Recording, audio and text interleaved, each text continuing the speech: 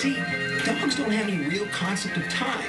So if you just get eight frisbees and throw them all at once, he thinks he's played frisbee eight times. See, there goes Monday, Tuesday, Wednesday, Thursday, and so on.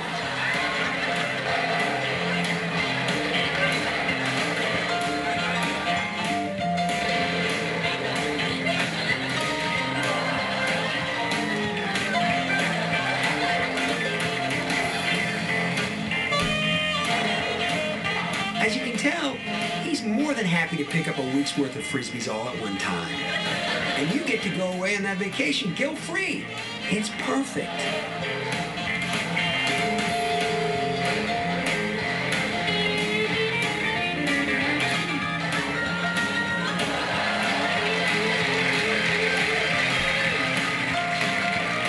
Thanks for the letter, Ray. Have a great trip.